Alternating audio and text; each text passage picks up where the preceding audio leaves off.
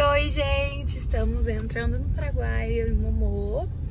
Já estamos aqui na fila. Que horas que a gente tá entrando, amor? 11 horas São da manhã. 11 horas agora. É, a gente gosta de vir, vir esse horário porque quando vem muito cedo, pega uma filona, demora pra entrar. Tá bem tranquilo. É, e tá bem tranquilo. Tá, tá próximo ao Natal, mas eu achei bem tranquilo.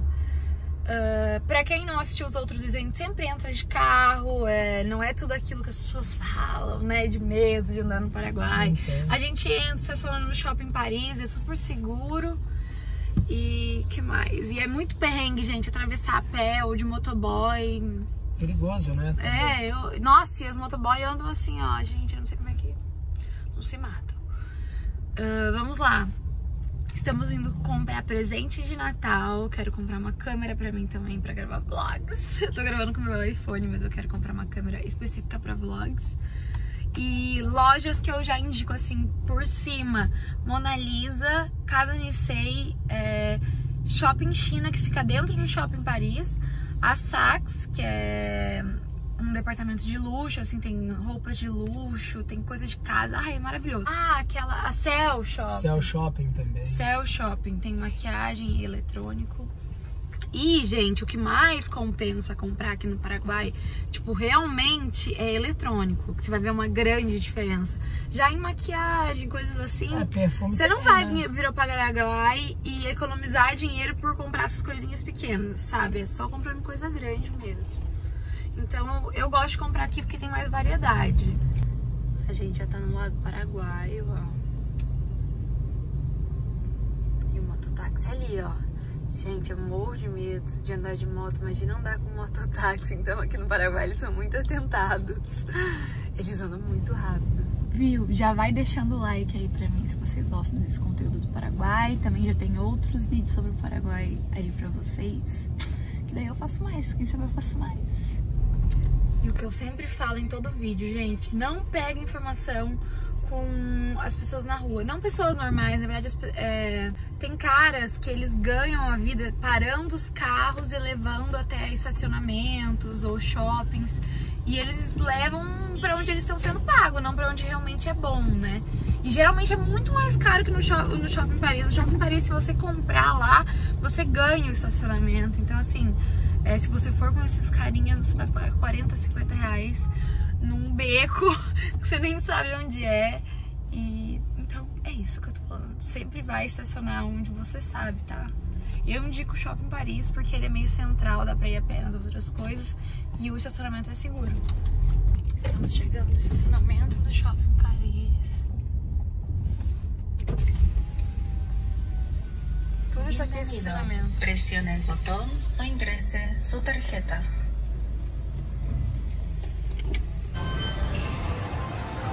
Aqui já entra direto na praça de alimentação. Dá pra comer aqui também. Mas eu gosto de comer na sala. Não, Você é. só coloca em cima, sabe, amor? Ah, então, você, Isso, você, sim, em cima do. E tem aqui pra fio. vender esses? É pra ter aqui no segundo corredor. Seguinte, gente, estacionamos aqui no Shopping Paris e o Shopping China fica dentro do Shopping Paris. O Shopping China é uma loja, tá, gente? Tem tudo e é muito boa. Porém, é, eu vi já o preço da minha câmera aqui e na casa Nissei tá mais em conta. Tá mais de 250 reais de diferença, então compensa dar uma andadinha de duas quadras pra ir lá na Nissei, né? A gente vai comprar um Beats e essa Canon lá na, Nissei. Vamos passar em uma outra loja para comprar uma maquiagem e depois a gente volta aqui pro Shopping Paris. Tem um aplicativo chamado Compras Paraguai e é certinho, tá, gente? Tipo assim, você coloca, é, por exemplo, a minha câmera Canon, Canon G7X. Aí ele mostra a loja que tá mais barata. Não tinha informação do Shopping China, por isso que eu fui ver. Que às vezes eles não atualizam. Mas realmente a Nissei tá, tá mais em conta e como são ma- mais de uma coisa que a gente vai comprar, ah, compensa ir lá, né? Então, gente, cheguei aqui na Nissei. É, a Nissei é loja muito boa pra comprar eletrônico, vou comprar minha câmera. Eu tava mostrando pra vocês, vou só pedir uma informação, que eu vi, eu, é, eu vi uma melhor, só com um pouquinho de diferença, pode ser que eu ela. Mas eu vim pensando em comprar a G7X. E nada tá vendo um fone da Beats, que tá mais barato aqui, um relógio. Vixe, a gente chega no Paraguai e a gente vê os preços que levar tudo. Mas é, é bom olhar no Compras Paraguai pra ver onde tá mais barato. Mas a casa Nisei é muito boa. Depois a gente volta pro Shopping China pra comprar o restinho das coisas, né? Aqui tem várias opções da G79, G7X, essa que eu quero. Eu nem sabia que tinha G1. G5X, um pouquinho mais caro que a minha, vou ver qual é a diferença. E olha, essa é G1X, quase 900 dólares. A grandona eu já tenho, né, que é a 80D. Aí vou comprar uma pequenininha pra vlog.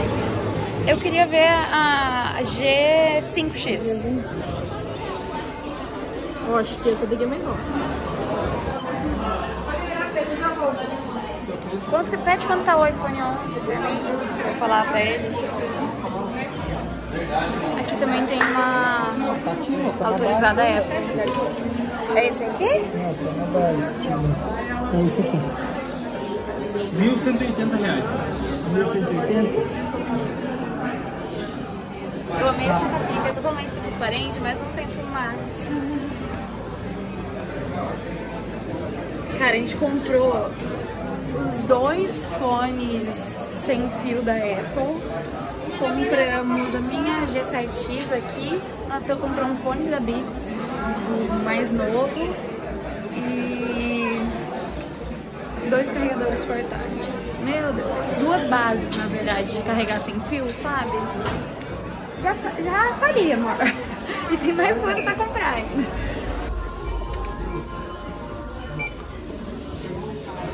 Já compramos as coisas aqui na Nicei. Mas eu, como sempre, esqueceu um cabinho, tá voltando lá no caixa pra pegar de novo. E, gente, uma coisa, ainda bem que a gente trouxe. A gente trouxe um valor em, em real, porque ficou mais barato, fica 6% mais barato do que no cartão. Então quem consegue trazer é, espécie é melhor, dólar também. Única coisa que, tipo, por exemplo, o cartão lá no Shopping China, quem quiser parcelar, eles parcelam. Mas no geral é bom trazer dinheiro. Eu nunca gosto de trazer porque quando é muito dinheiro, é um valor muito alto, né? Fico meio receosa, mas tem 6%, por- 6 de desconto. Aqui no shopping Ven- Vendame, Vendome, não sei, tem uma loja que tem Chanel original, tá, gente? Vim comprar meu pó, mas não tinha. É do, ao lado da Nicei, tá? É um shoppingzinho que você não dá nada, mas a loja é bem boa. E agora a gente vai passar num lugar que faz a criança aqui feliz. O nome é Atacado Collections. É uma loja para colecionadores de miniaturas, sabe? Coisa de super-herói. Tem muito pops, ele tem todas as variedades. Eu acho que é a maior loja da América Latina. Vou mostrar pra vocês. Você não dá nada e são seis andares, amor. Seis andares de pops. Ai, meu Deus. Ai, ai, ai, ai. Eu amo isso, gente. Sério, minha criança interior já tá gritando. Você escolher os meus, você fica maluco aqui. Esse é só o primeiro andar. Tem vários andares. Tem coleção de tudo, na verdade, né? Esse primeiro andar é só de pops. E você fica perdido completamente, porque tem todos os possíveis. Gente, eu já guardei as coisas no carro e a gente veio comendo, se comendo aqui no shopping Paris mesmo, porque a gente tá com muita fome, é, é um pouco exaustivo quando sai na rua, sabe? É, cansa, porque as ruas aqui não são muito lineares, tem que subir, descer e desviar das pessoas, é muita confusão, cansa muito, é, é estranho que cansa muito a mente, né? Que você fica assim, muito atento, enfim, nossa, eu tô exausta já. E fomos só na Nicei, depois no Atacado Collections, que são as lojas de colecionadores, né? Que é a loja de colecionador. E agora é- deixamos as compras no carro e vamos no shopping Paris. O que falta comprar? Só os presentes. Comprou, a gente veio pra comprar presente de Natal, só comprou coisa pra gente até agora. Voltamos ao Shopping China, comprar os presentes, estamos na, na área de criança. Gente, dá vontade de ter filho. É muita coisa fofa, tem todos os bonecos daquela LOL, sabe? Tá super na moda agora, as meninas ficam loucas, né? Mas pra minha sobrinha eu já sei o que eu quero comprar. A gente tá pensando primeiro sobrinha agora. Vou comprar um negócio no Brasil pra minha sobrinha, então só pro Benício. Nossa, ele tem todos os tratores. Ele gosta de trator? Então, ó, tá? grátis. É. Mas não é muito pequeno? É isso. Nossa, olha esse.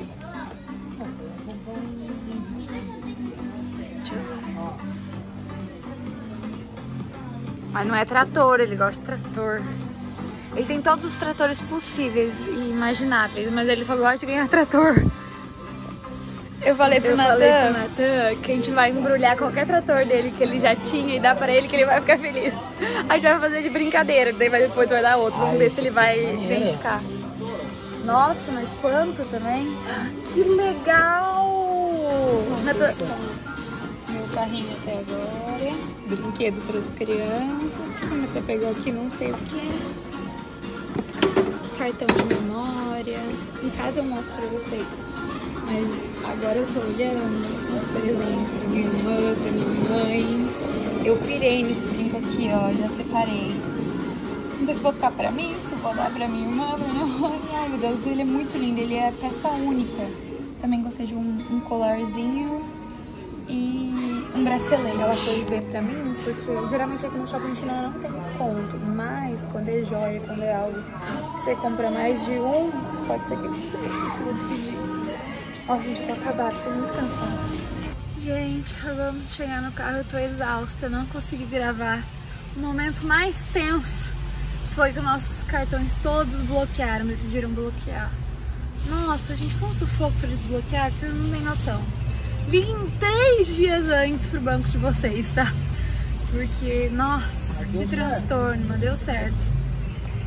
E, gente, agora chegou o momento de, de passar na fronteira. Ó, seguinte, sempre me pedem isso. Tem uma cota que você pode le- levar? Tem. Mas é que nem quando você tá voltando dos Estados Unidos, de Orlando. Sabe aquela filhinha que fica passando na Receita Federal?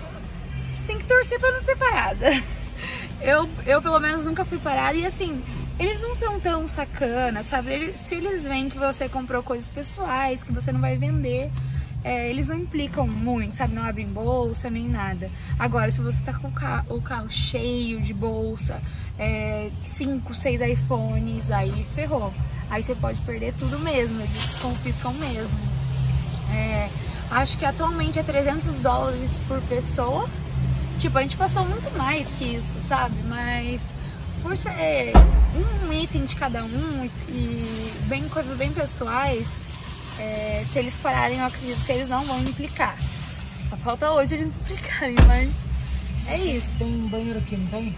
Tem. Agora é a hora da filhinha pra voltar. Aqui não dá pra ter noção, mas tá. Quantos quilômetros será, amor? Uns dois? Ah, uns 2 km. 2 km de Dois fila?